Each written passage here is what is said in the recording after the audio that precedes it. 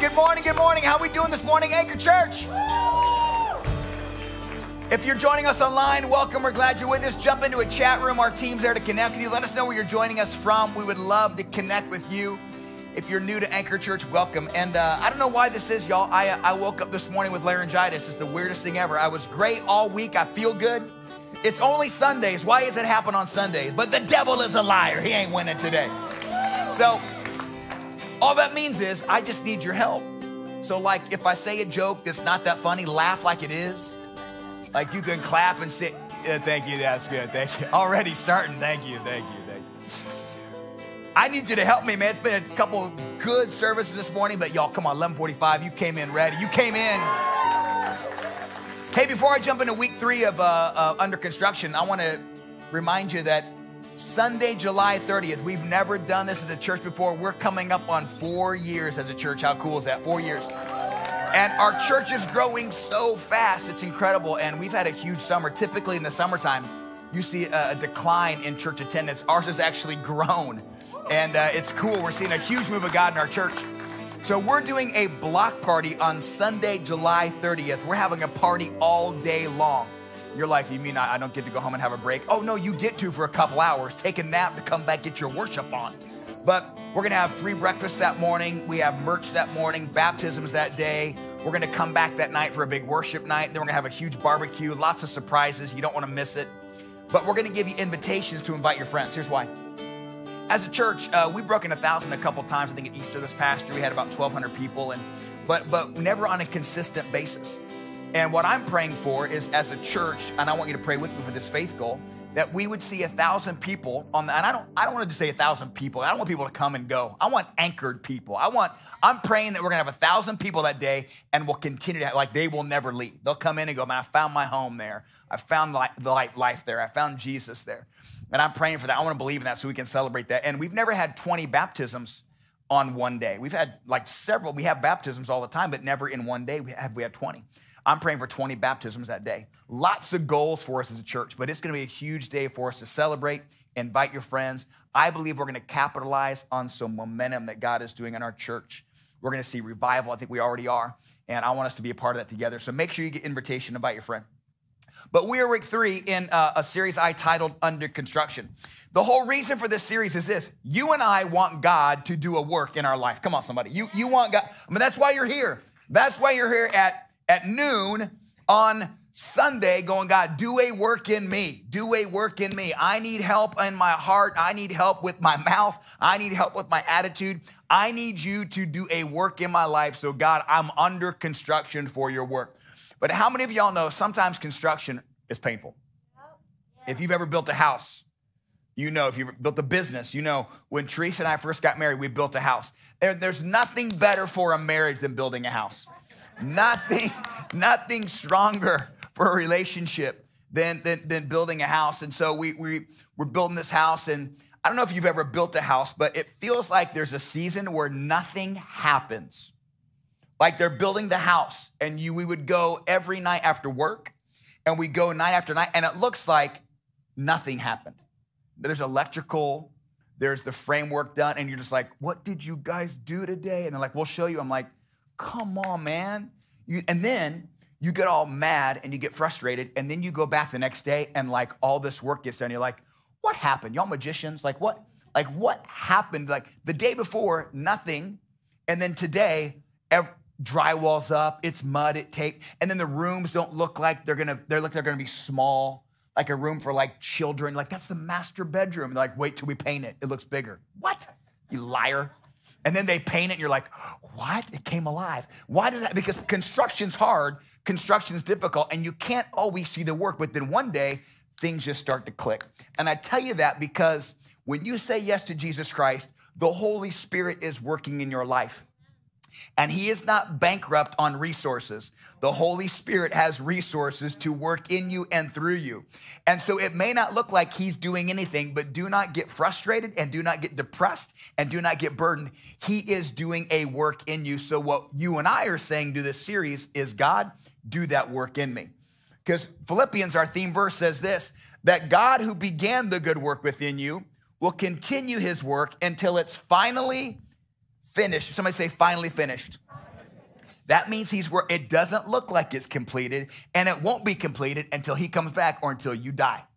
You mean he's always working in me? Yes, he is. Why? Because you need the work in you. We need him to work in us. And so it's finally finished on the day when Christ Jesus returns. That's kind of our theme verse for this whole series. Now, I changed the series up a little bit. If you were here week one, I, I talked about you and I need to have a heart for Jesus, a heart for others, that it needs to be under construction as we allow God to do a work in us. Last week, I talked about how our mouth needs to be under construction. Anyone get challenged by that this past week? You didn't think you had a problem with your mouth, and I preached last week. You're like, oh, Lord, you got me, Pastor. And I had this whole series planned out. And then a couple weeks ago, I was thinking one area that we never really talk about as a church that is really, really important to us as a church and very important to you, vital to you as a follower of Jesus Christ, is your friendships. And I'm not talking about just like acquaintances, I'm talking about deep level, committed friendships, relationships that develop you and grow you into the person that Jesus wants you to be. We need to have friendships that last a lifetime. Friendships that speak into us, encourage us, enhance us. And let me tell you right now, we need those. Many of us have acquaintances in our life. And what happens is, I believe we live in a lonely, isolated culture. Very lonely, very, you know why? Because everything can be done online now.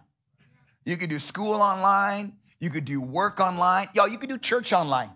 You could do church. You could click on. I, I, remember when we started our church. I said we will never, we will never have video teaching. We'll always be live teaching. If we ever start a campus, it'll always be live. Why? Because you can always get video anytime you want at the click of a button.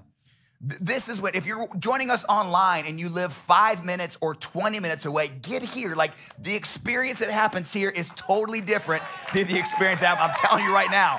I'm telling you, it's just different. It's different.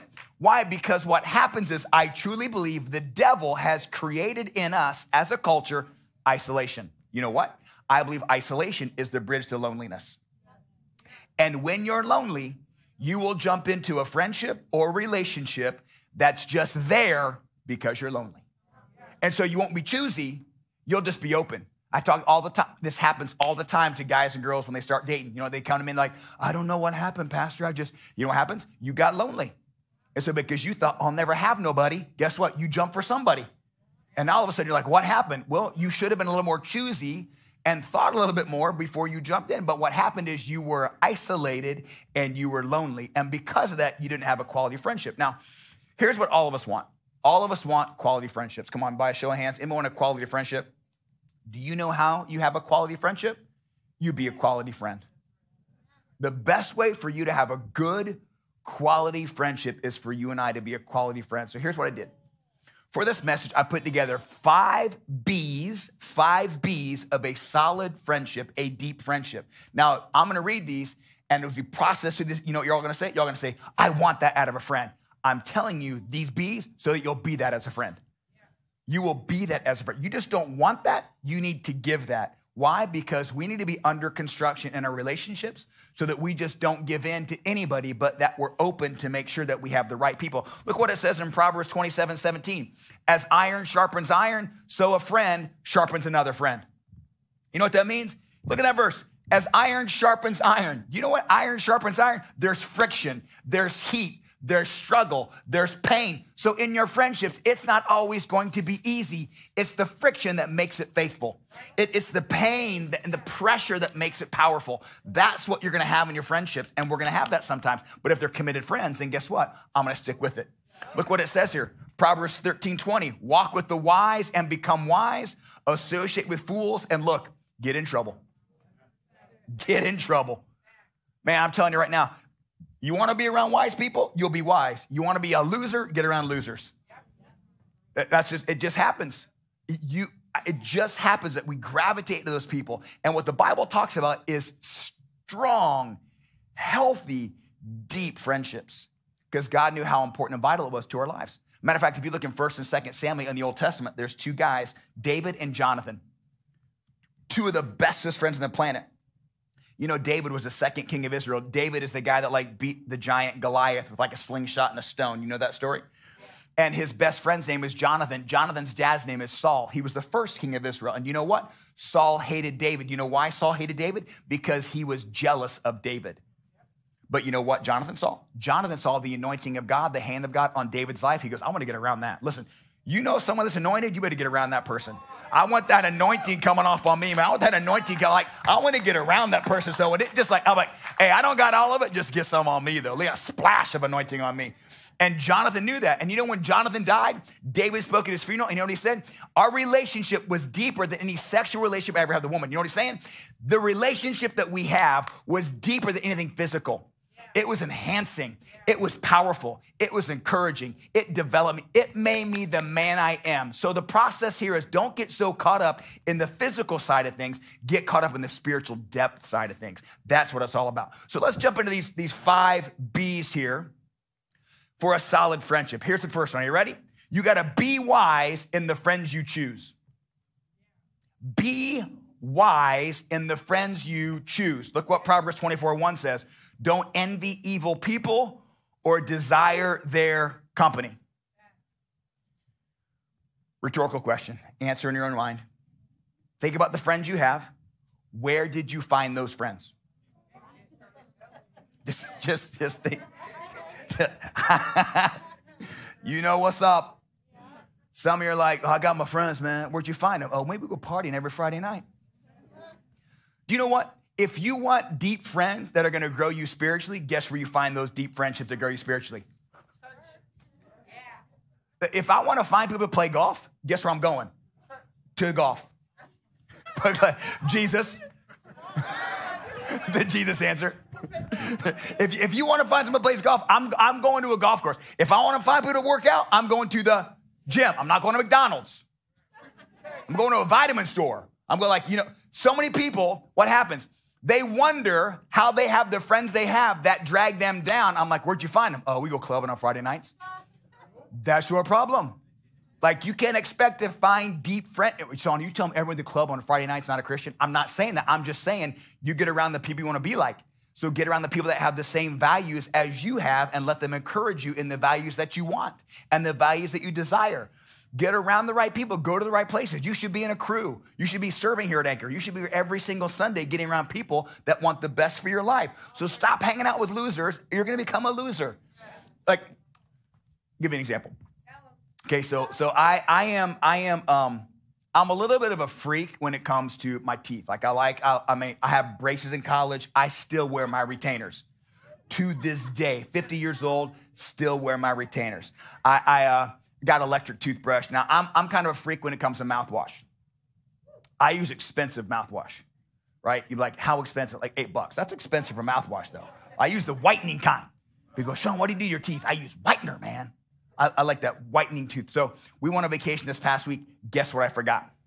Mouthwash.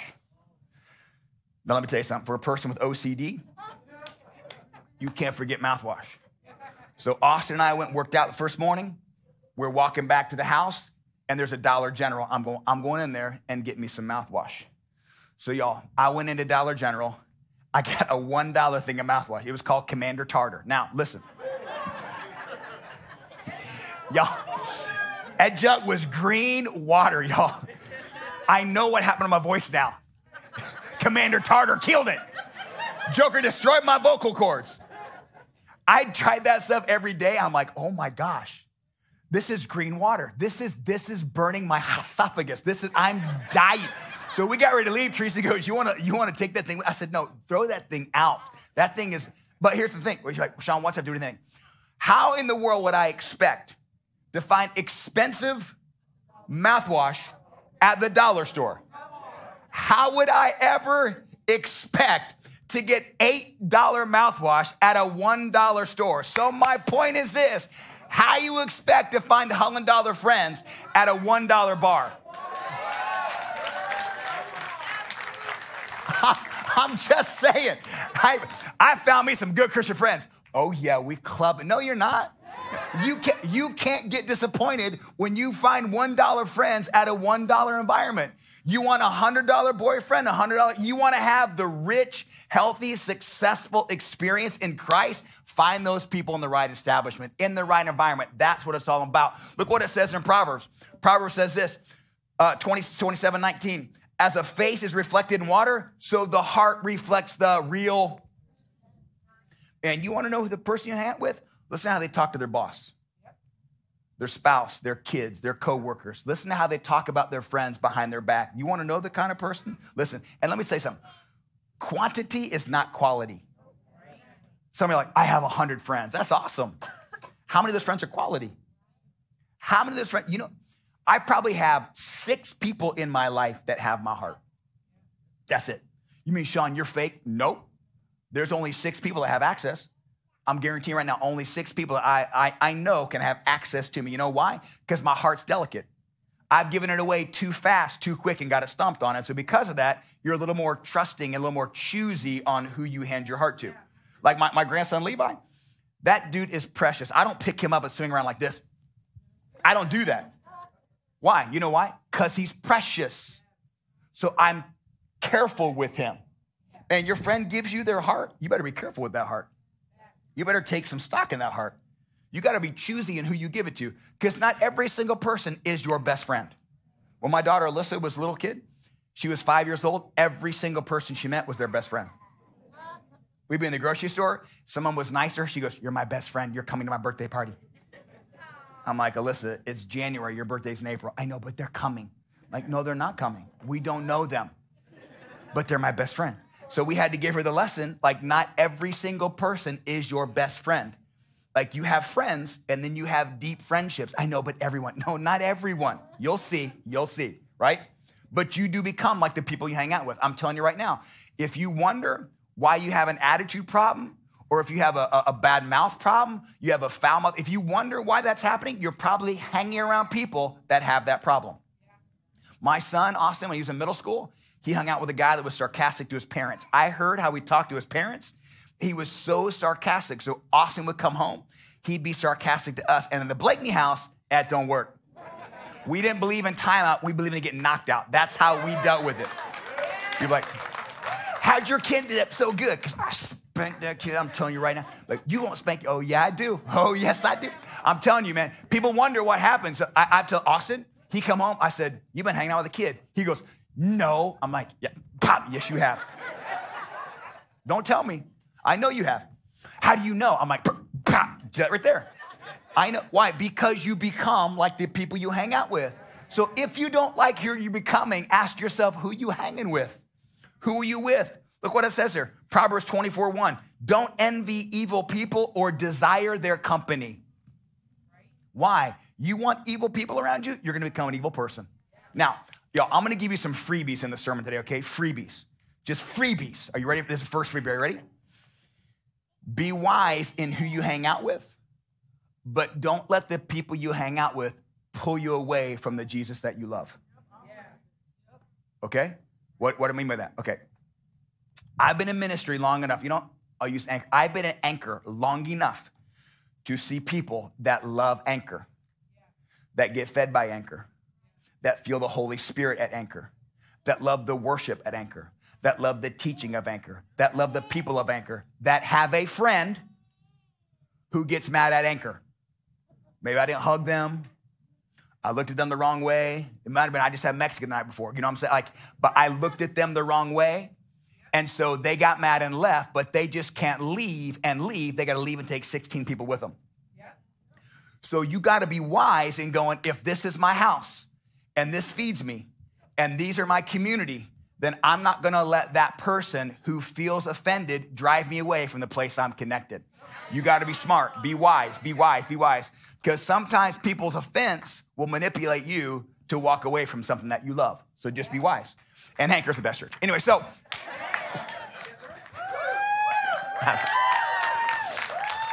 That was another freebie. That was a freebie. All right. So be wise. Number two, be committed. Be committed. Be committed to your friendships. You want a quality friendship? Be committed to. Look what Proverbs 17, 70 says. A friend is always loyal, and a brother is born to help in a time of need. Do you know what? You and I want commitment from our friends, but guess what? You don't want to be committed to your friends. You and I are committed, guess what? Until we're not committed. Like you're committing the friendship till the friendship gets weird. You're committing the friendship until it doesn't feel right. You know, when we started Anchor Church, we started with 20 people, and those early years were hard. And so we had people go, oh man, we're all in, we're committed. And guess what? They were committed until it got tough. Because y'all listen, it wasn't always like this. We set up every single Sunday. We set up every, I remember well, Stephanie was like cleaning out cockroaches from places, and we were meeting at down at the uh, drug rehab facility in Delray, and like we had to set up pipe and drape every single Sunday, set up sound system every single Sunday, find band players every single Sunday, set up chairs every, so this is like hours of work before service even started. And guess what? All the people that were committed to Anchor were committed to the idea of Anchor, weren't committed to the hard work of Anchor. And so all the people that were like, no, we're all in, they weren't all in. You know why? Because it got hard. And in your relationships, in your deep friendships, sometimes things are going to get hard. Because let's be honest, y'all, we are weird. Like, if you're my friend, I'm weird. Like, let's just understand, like, we're weird people. So you just gotta be committed to the weird and love them anyway. It's just gonna happen. You got to be committed to it because you can't walk out on it. You know, like my son Austin, he's been working out with me. And 4th of July, him and Marissa and Levi went down to Deerfield. And I knew he, I knew he wasn't gonna work out that day. I, I texted him, I said, You gonna work out? He goes, Yeah. They got home like 1:30 in the morning. I'm like, Joker ain't working out. So I go to the gym, guess who wasn't there? Austin. So I disowned him, took away his last name, yeah, you're like, Shaun, you, come on. He just, he didn't show, I know, but some of you have done the less, you've given up friendship for less than that. Some of us given up friendship and you don't even remember why you gave up friendship. Because you weren't, you weren't committed to it. That's why, because it, did, it didn't meet your needs. But sometimes it just happens like that. Like they're not going to meet your needs, but it's okay because you're a committed friend. You're a committed friend. Look what Proverbs 18 24 says. There are friends who destroy each other. Look, there are friends who destroy each other, but a real friend sticks closer than a. Man, y'all have read this passage so many times, and it just hit me this week. Look at this. There are friends who destroy each other, but a real friend sticks closer than a brother. You know what brother is? A brother's blood. Like my sister Shannon, like I could talk about her. She's my sister. We go to blows. You talk about her, we're going to blows. Because family, family's family. Family's blood. Right where Proverbs says, listen, you better have those close friends around you, you're going to blows for. Like, I'm not going to talk about you because I'm committed to you. Can I tell you right now? One of the best ways to be committed to your friends is to be a communicator to your friends. Listen, I have a double major in preaching and counseling, which means I am an over communicator, and Teresa loves it. It's her favorite thing about me. She loves the fact, she loves it. You know why? Because she's a communicator herself. And so she loves it. So if you're a friend of mine, I am an over I am an over communicator. Now I will say this, if you're not a communicator, it's okay, but you have to have some level of communication to be committed to a friend. I know enough about relationships that if you're not a communicator, it's gonna be really hard to have a relationship and stay committed to it if you don't know how to communicate in it. So, does that mean you gotta be open to every single person? No, but it does mean you gotta learn how to have a level of commitment and communication and friendship in those friendships that you say are so important and valid. So, first thing, be wise. Second, be committed. Here's the third. Are you ready? Be selfless. Be selfless in your friendships. You know why this is hard for us? Because we don't want to be selfish people. I don't want to offer to you, I just want to take from you. Why? Because you're a jerk, Shaun? No, because that's just our nature. Do you know one of the, I think one of the key ways that we are selfish in our friendships because we want our friends to be just like us. I, I honestly feel like that's one of the ways we're most selfish. And at the end of the day, I can't expect you to be me. You know why? Because you're not me. And we get mad at our friends when they're not like, like, you imagine how boring the world will be if it's just a bunch of Shaun Blakeney's? We'd all be smiling with $8 mouthwash.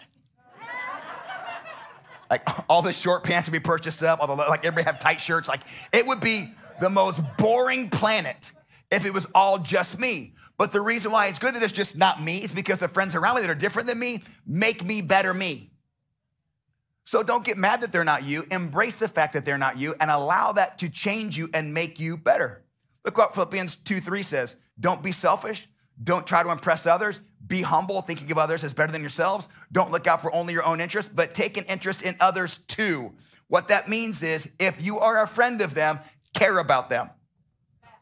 Anybody ever had a friend that asked you how you're doing and never waits for a response? They just ask you how you're doing so that they can tell you how they're doing. Oh, if you ask me, then wait for a response. You know, I got a friend of mine who's a pastor. I've been a friend with him for a long time. You know, I don't think he knows I'm a pastor.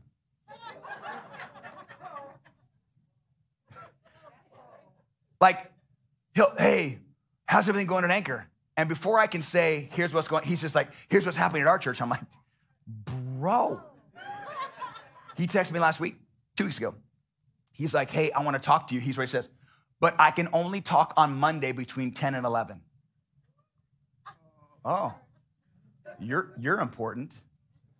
It's like, I, I have, I'll make sure and clear my schedule, boss. You know, I'm just like, man, if you, if you got a friendship like that, ask yourself, is it worth the investment? I want people to understand I got stuff going on in my life too. I got, I got stuff like I want to understand you, but I want you to understand me. We have to be open to that and understand that. But we have to understand, we have to understand that if you're going to give in other relationships and you want them to give to you, you have to be given to them. Fourth thing, you ready? Be truthful. Be truthful with your friends. Be honest in your friendships. Do you know what you want, but you don't want to admit you want? You need honesty in your friendships. Everybody wants honesty. You don't admit you want honesty, but guess what? You need honesty because honesty makes you better. Anybody ever had a long conversation with somebody? And after the long conversation, you walk in the bathroom and you got a booger and they never told you? Anybody ever get mad? I'm just like, man, I talked to you for 10 minutes, bro. Just give me the give me the sign. Be like, tell me. I want to be friends with people that tell me when I spiritually got a booger. I want, you know, I want people to stab me in the face, not in the back. Like, just tell me. Like, tell me what's up. Yeah, I get it. It's not going to be good, but I want to have somebody tell me. Look what it says in Proverbs 27 5. An open rebuke is better than hidden love. Words from a sincere friend are better than many kisses from an enemy. Now, listen, y'all, I say this, but I'm telling you this. This is not with everybody. Those six people that I told you have access to my heart, those are the people I'm open to hearing from. Do you know why? Because it takes time and it takes trust. It takes time. And I had a guy come to church for about three weeks here. Came for three weeks. After three weeks, came to me and said, Hey, I want to be your accountability partner. I said, No. He left the church. I'm just say it like I want to say it if you got to ask me to be my accountability partner, you ain't going to be my accountability partner. That's something you get asked of. You know why? Because it takes time and it takes trust. And not every single person around me has access to what's in me. Those, those people that have my heart that I trust, those are the people that I trust to tell me what I, you know why? Because I know they love me enough to tell me what I don't want to hear, but need to hear. It's, it's the time, it's the trust. It builds that connection inside of you. And that every single person gets that access. But let me tell you this. Some of you are going, but Shaun, I don't, I don't need that honesty because I just I don't really have a whole lot going on. That's called a blind spot. Here's what people say. People say, I don't have blind spots. That's why it's called a, a blind spot. But I will say this be honest in private, be encouraging in public. You don't want to be in a group of friends and be like, hey, just want to let you know, you stink as a friend. Oh, great. God bless you. You want to be in, in private when they're honest with you. They're encouraging you in public, but they're honest to you in private. And when you're honest with your friend, just don't like call them out. Be specific. Like, hey, man, I, I noticed that there's some things that push your buttons. I want to talk about that. I noticed that you, um, you get angry a lot. I want to talk to you about that. I noticed the way you talk to your spouse, it wasn't encouraging. I noticed that you were in a group of people and when they started gossiping, you didn't shut it down. I want to talk about that. I, I would, I would get specific about those things. Be specific. Look what it says here. An honest answer is like a kiss of a friendship. An honest answer is like, answer is like a, a kiss of a friendship. Here's the fifth thing be encouraging in your friendships. You know what's easy? Being negative. It'd be easy if I called people up on the platform, it'd be easy for you to spot negative things about them. You know why? Because we're negative people. You can spot the faults in people so fast. It takes time and love to call out encouragement in people. But that's the kind of friendships I want. I want the kind of friendships that value me enough to tell me what's up, but encourage me when they see something that's going right. Just not like, hey, I like your hair. Hey, I like your new outfit. No, no, man, you know what? Man, I love the fact that your relationship with God is so deep. I want that. I love the fact that you're such a hard, diligent worker. How do you have that diligent working spirit? Let me know because I want that diligent spirit. Be specific with the things that encourage you. Proverbs 17 love prospers when a fault is forgiven, but dwelling on it separates close friends. I want to be encouraging. I want to speak life into people because I want life spoken into me. Look what Proverbs 11 9 says With their wounds, the godless destroy their enemy but knowledge will rescue the righteous. Okay. Anybody learn anything today? Yeah. We want those good, quality, deep friendships in our life. Allow them to be under construction so that we can be more in tune with the person of God. Let me give you three practical takeaways. Come on, stand your feet. Three easy, easy to say, harder to do, three practical steps for your godly friendships. Here's the first one. Ready? You need to evaluate the friendships you have right now. If they're not growing you, if they're not developing you, if they're not encouraging you, if they're pulling you down, if they don't understand your faith, if they don't understand the relationship you have with God, it might be time that you think about that might not be a friendship I need. I'm gonna be I'm under construction and I understand that people I surround myself with are gonna mold me and shape me. So I'm gonna be around those people to make sure that they do something good in me. You gotta be honest with yourself, you, you gotta evaluate those. Here's the second thing enrich the relationships you already have. If you're not a communicator, if you're not an encourager, but the people that you're around mean enough to you to do life with them, then speak life into them. Encourage them, value them. And here's the third thing extend grace in those friendships. Do you know why? Because, like I said, y'all, we're all weird. We got our stuff. I want my life to be surrounded by people that get me, even though they understand ah, I'm in a bad day. They give me grace, going, man, Shaun wasn't the same today, but you know what? I know he loves me. I know he's good. So I'm going to trust him. I, I, it's all good. Extend the grace to them that you know you want. Evaluate them, enrich them, encourage them, but make sure that you're around the right people to make you a better follower of Jesus Christ. At the end of the day, that's what it's all about. See, here's how we're going to close today. Do you know the greatest friend you could ever have is Jesus? Because he knows you're crazy and loves you anyway. Man, he left heaven to come to find you. The Bible says, and yet while you and I were still sinning, while we were crazy, while we were weird, while we were jacked up, He left heaven and came to find us to save us in the midst of our garbage. That's how much He loves you. He doesn't walk out on you, He doesn't talk bad about you, He doesn't slam you. All He does is speak life in you. He loves you. But you have to invite him to be the Lord of your life, your forever friend. He just doesn't beat the door to your heart down to come in. He's a gentleman he's got to be asked in. If you're joining us online right now, you never said yes to Jesus but want to give him your life, just jump in the chat room right now and just say, I need Jesus. I want that forever friend. Our team will connect with you right now.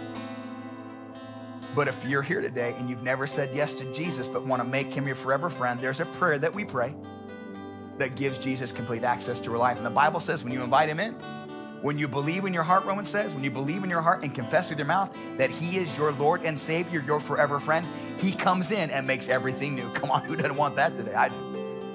So, on the count of three, if you want to say yes to Jesus and make him the Lord and Savior of your life, I'm going to ask you to be bold and raise your hand. You might go, what, what, what, what, what? We're going to all celebrate with all heaven when you say yes. Come on. If you want to say yes to Jesus, raise your hand. One, two, three. Yeah, yeah, hand. Oh, come on. Yeah, hands. Oh, yeah, awesome. Awesome. Yeah. Awesome. Awesome. Awesome. Yeah. Awesome. Come on, Anchor. Let's celebrate. Come on.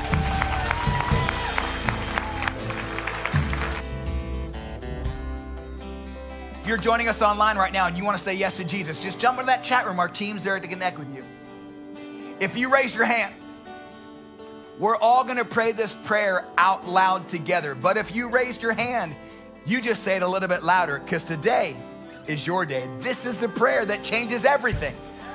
And after we pray this prayer, we're going to sing loud because we want Jesus to do a work in our lives like we've never seen before. Come on, lift your hands up. Just say, Dear Jesus, today I give you my life. I want you to be my forever friend. My heart is wide open. Come live inside of me. Forgive me of my sins. Forgive me of my past. And make me brand new. And for the rest of my life, as best as I know how, I will follow you. In Jesus' name I pray. Amen. Come on, Anchor. Lift your hands up.